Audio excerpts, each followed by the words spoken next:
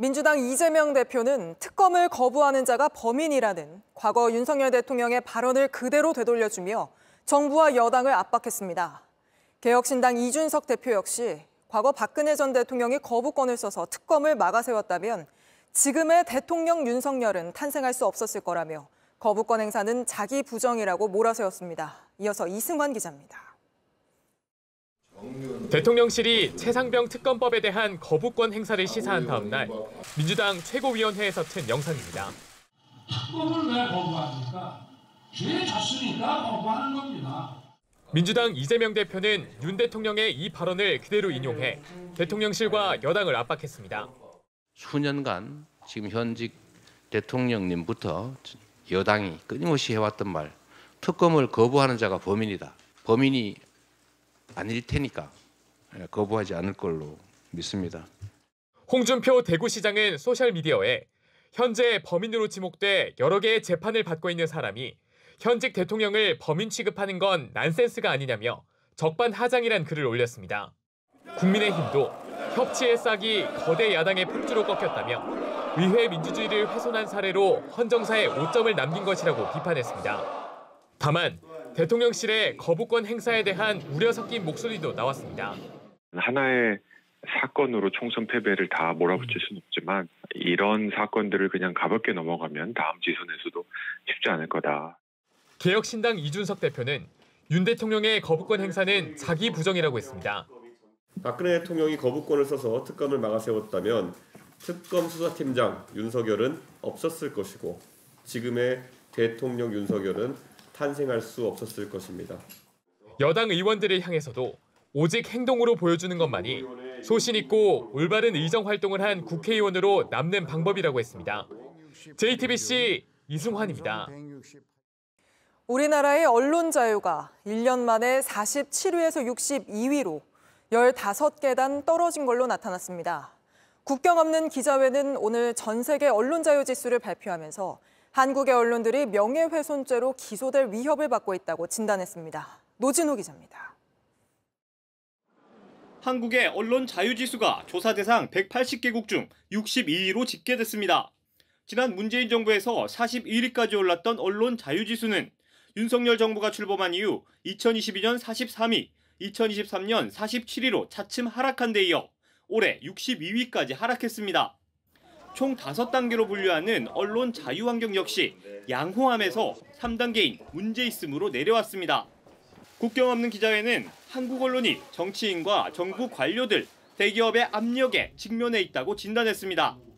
특히 몇 년간 개선된 여러 국가에서 다시 검열이 이루어지고 있다며 몽골과 말레이시아의 사례와 함께 거론하고 여러 언론 매체들이 명예훼손 혐의로 정부로부터 기소당할 위협을 받고 있다고 지적했습니다.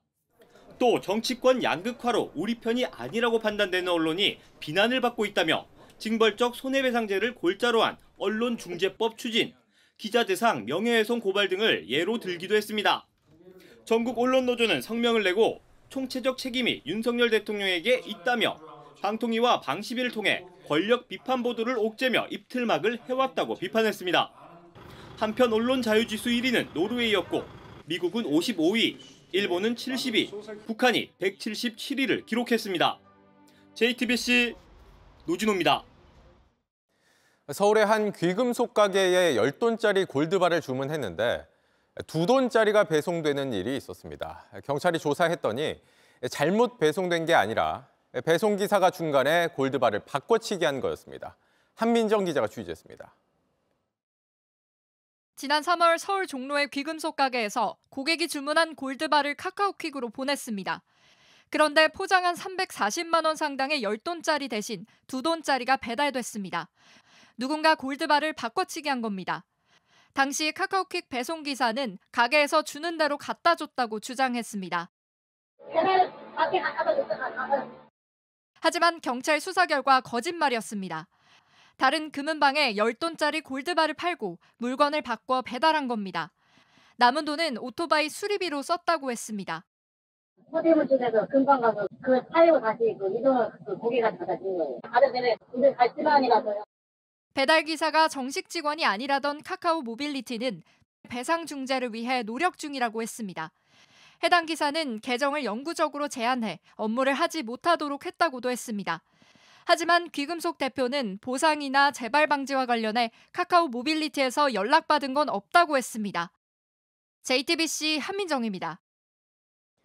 4년 전 범죄 혐의자들의 신상을 공개하는 사이트 디지털 교도소가 논란이 됐는데 특히 여기에 얼굴이 공개된 대학생이 목숨을 잃는 일도 있었습니다. 그런데 최근 이 사이트가 또 등장했습니다. 운영자는 살인이나 성범죄, 학교 폭력 가해자 등을 찾아서 신상을 공개하겠다고 했습니다. 김휘란 기자가 취재했습니다. 여자친구 살해범 김레아의 신상 정보가 모아져 있습니다. JTBC 단독 보도로 알려진 여자친구 폭행 치사 피의자 김모 씨도 보입니다. 지난달 다시 등장한 웹사이트 디지털 교도소입니다. 2020년 폐쇄 당시 사라졌던 N번방과 박사방 관련 성범죄자 자료도 복구돼 있습니다. 법원이 범죄자를 솜방망이 처벌하고 있다며 신상 정보를 공개해 심판을 내리겠다는 취지입니다. 새로 등장한 디지털 교도소는 한 발 더 나아가 전세 사기범과 음주병 손이범, 학교 폭력 가해자 등 80명의 신상을 공개했습니다. 하지만 이런 사적 처벌은 부작용으로 이어진 바 있습니다. 지난 2020년 당시 잘못된 신상 공개가 잇따랐고 한 피해자는 목숨을 잃었습니다. 당시 기존 운영자는 정보통신망법 위반 등 혐의로 징역 4년을 선고받았습니다. 하지만 새로운 디지털 교도소 운영진은 부작용과 별개로 공개를 이어나가겠다는 계획입니다. 운영진은 개설한 지 얼마 되지 않았지만 여러 제보가 들어오고 있다며 철저한 검증을 거쳐 신상을 공개할 것이라고 했습니다. 또 정부 당국이 폐쇄하거나 차단하면 적극 대응하겠다고도 했습니다. 방송통신심의위원회는 해당 사이트의 내용을 검토하고 있습니다. JTBC 김일환입니다. JTBC 뉴스를 시청해 주셔서 고맙습니다. 저희는 저녁 6시 50분 뉴스룸에서 뵙겠습니다.